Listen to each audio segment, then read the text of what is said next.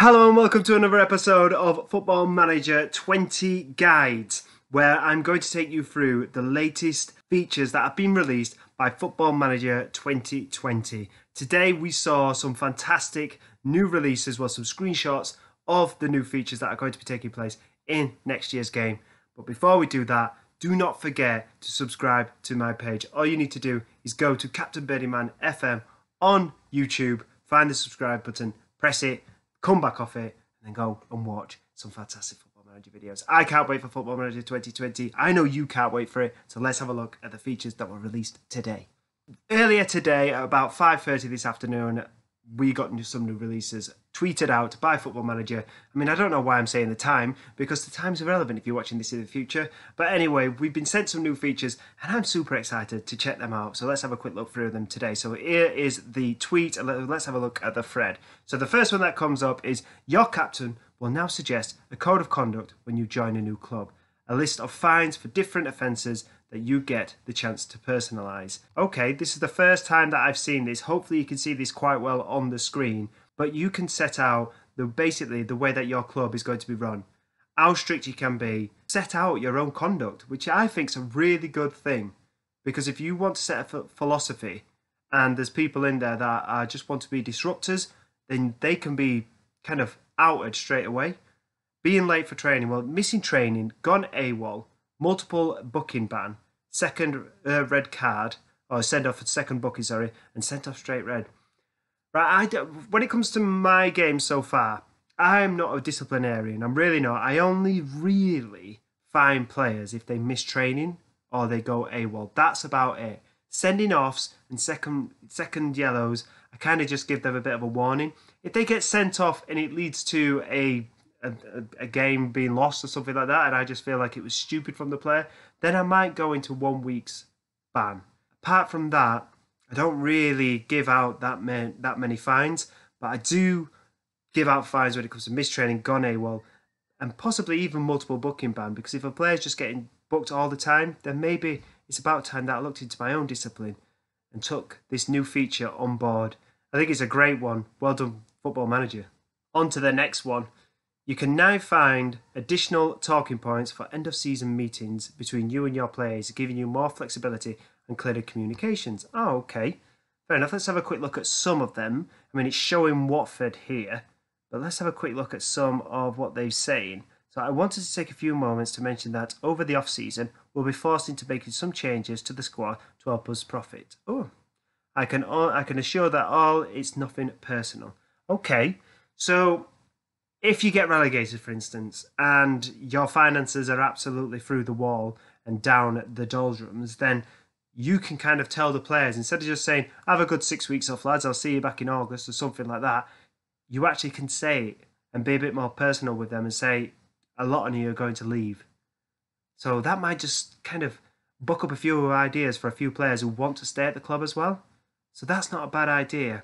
I don't really like doing end of end of season meetings, but I've actually got less things to do because you just press a button and say, "This is what we're looking to do." Is there anything else I want to say? I want to take a few moments to mention that over the off season we'll be forced into making some changes to the squad to help the club work towards self sustainability. I can assure you that it's nothing personal. So at this moment in time, it looks like that obviously Watford have lost a lot of money, and their wage budget is through the roof. So they've got to let a lot of players go, and it's just being a bit more personal when it comes to those end of end of season meetings.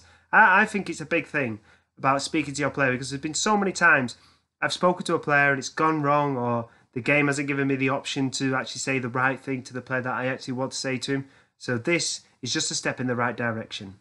Games change quickly. I'm not sure what that means. The responsibilities screen has been redesigned as part of, of this you can now ask your assistant to deliver touchline instructions during games. Hmm, okay. Well, I don't really give. well, I do. I do. I take that one back. I, I do shout on encouragement, and I use the t- I use the tool where you can shout for a demand a little bit more, or you can push forward, or you can concentrate. I do use that tool all the time. So that's a big one. But I rarely listen to my assistant manager when he's when he's telling me certain things about a player being uh, getting a yellow card or an opposition player is pulling the strings, I never normally take his advice. The only advice I do take is when he's saying that one of my players is exhausted and needs coming off. So I'm not sure how this is going to help me, but I can imagine if you rely on shouting touchline instructions during a game and not just your team talk at the beginning and at half time, then this would be a big, big feature for you.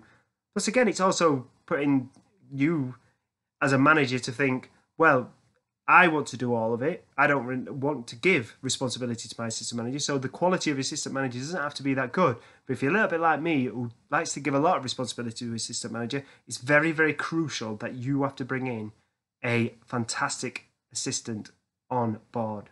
An improved unemployed experience. There's more information on available jobs, increased press opportunities, and weekly job updates not quite sure what this means. So if you are unemployed and you start the game unemployed or you get sacked or you leave a post, then this is what it looks like when you're looking for an available job. So instead of you going to look for it, it does give you recommended available jobs. Okay, and then it's very easy to obviously apply for them. It gives you all the information that you need. So if you do like a bit of a journeyman save and you and you and you like moving from job to job, etc., then this could be a really good feature for you.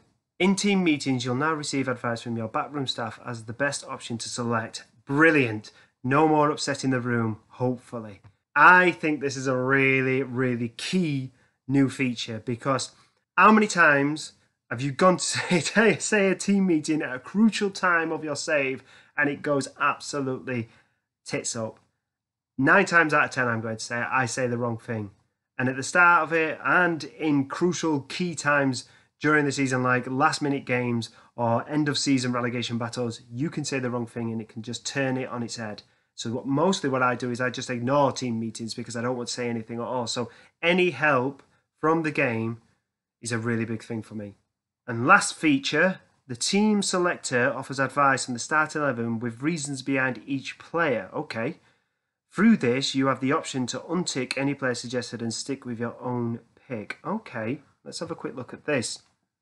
So you pick your starting 11, but your assistant manager is saying that there could be a better option. Okay, that makes sense.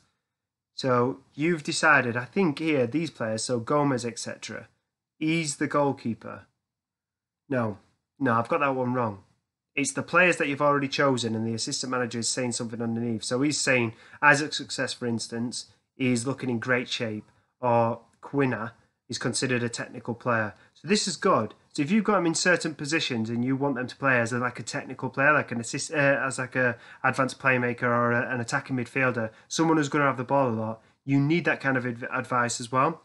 But also, I'm not sure if this means that. I'm not sure what this bit means with the in the red, but we will soon find out when we do start playing the game. And that's it for today. That's it. Just as Miles says and Football Manager says, that's it for today. Do keep an eye out though, because I'm sure there'll be more features that will be dropped. And as soon as they are done, I will bring you them on a quick video like this. So I hope you've enjoyed the episode as much as I have. If you have, give it a like, give it a thumbs up. Tell me something that you like about these new features in the comments below. Tell me something that they've missed out and that you wish they could have put on there in the comments below. And we can kind of see if we can push it towards Miles and see if what they can do. Not for this year, obviously, but for next one. Anyway, I hope you've enjoyed it. I'll be back in a couple of days' time for some more Football Manager 20 guides. Bye bye.